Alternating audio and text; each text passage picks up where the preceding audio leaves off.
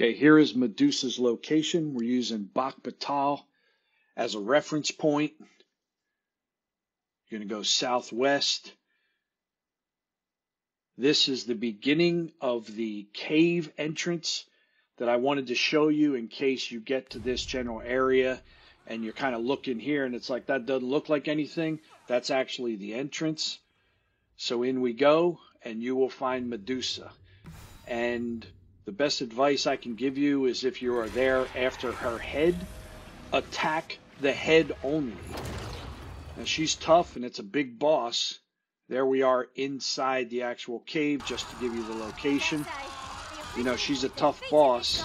So you can hit her body, I'm sure, quite a bit before she dies. But, you know, as she's dying, attack the head and kill her via attacks on the head. And then you will get her head just like so. But then don't forget to loot the uh, rest of her body too because she got some good stuff.